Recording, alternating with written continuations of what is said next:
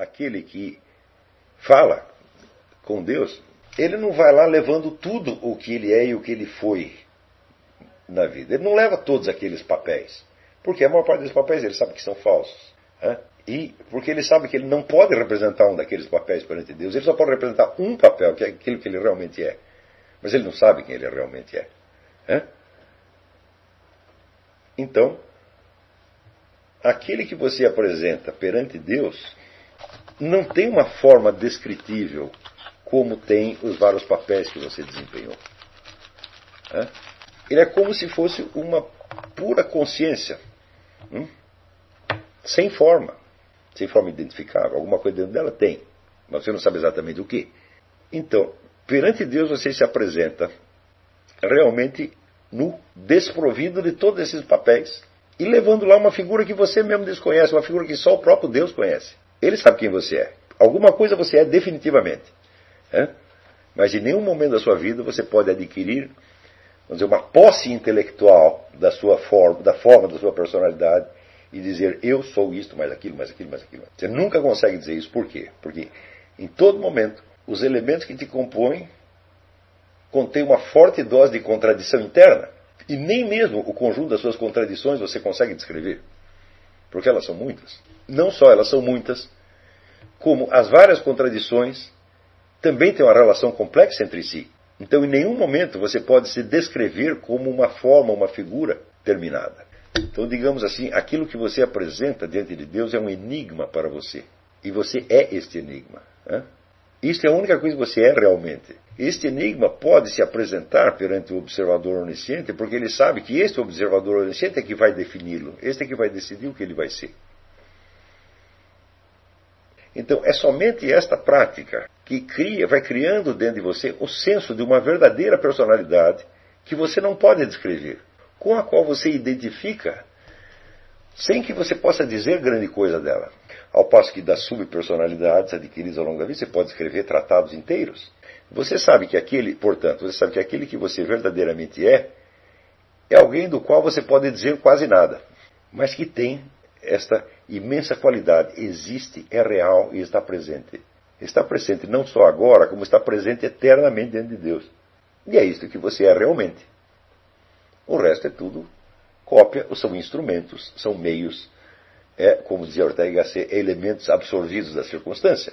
Não há nada mais propício para dizer, a aquisição desta consciência de si mesmo como enigma vivente do que os sacramentos da Igreja Católica.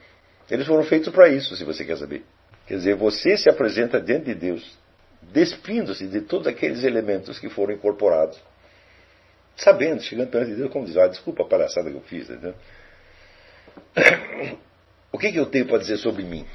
Só aquilo que eu não sou. Portanto, só os pecados que eu fiz. Isso é o que eu me lembro, mas eu não sei quem eu sou, mas eu sei o que eu fiz. É? E isso que eu fiz não é para ser conservado, é para ser justamente jogado fora. Então você se coloca nas mãos de Deus para que Deus te refaça do jeito que Ele bem entenda. Como é que Deus faz você? Note bem que tudo isso que eu estou dizendo, eu não tirei nada de estudos de teologia, não tirei isso da Bíblia. Né? Juro para você que não tirei isso da Bíblia, tirei puro exame filosófico das coisas. Né? Então, como é que Deus vai me refazer? Ele vai fazer você do mesmo jeito que ele fez o mundo. Como é que Deus fez o mundo?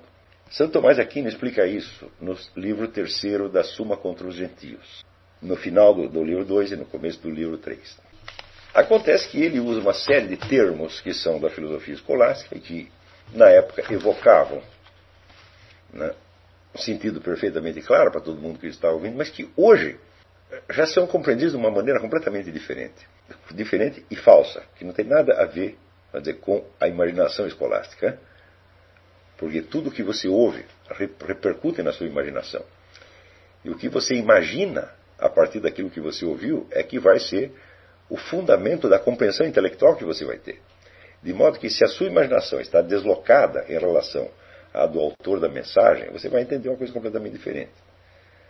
Isso é a mesma coisa que dizer, olha, para você ler a Suma contra os Gentios, ou a Suma Teológica, pior ainda, é, você tem que afinar com a, a imaginação escolástica e tentar ouvir aquilo do mesmo jeito que as pessoas ouviam na época. Né? Hoje, por exemplo, quando você fala que Deus criou o mundo, isso evoca imediatamente a ideia do design inteligente. Deus fez um projeto.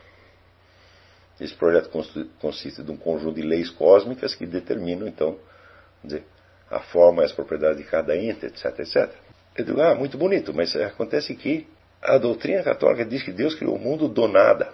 Então, de que substância ele pode ter preenchido este mundo, se não dele mesmo? Isso quer dizer que Deus não cria coisas no sentido de manipular alguma matéria e lhes dar uma forma. Ele infunde a sua própria forma. Isso quer dizer o seguinte, que criando a criatura, Deus não age sobre ela como uma força externa. Ele a constitui de si próprio. Está entendendo? Então, por favor, não conceba Deus como um ente supremo, né? um ser supremo. Isso é figura de linguagem. Hum? Deus é a existência da existência, a própria possibilidade da existência. É? Portanto, a existência é um aspecto da possibilidade. A possibilidade enxerta a existência na existência. É? E de onde vem essa existência? Dela própria. É? E note bem, o que eu estou tentando entender aí não é somente a frase Deus criou o mundo, mas é a famosa resposta à pergunta por que existe alguma coisa e não antes o nada. Hum?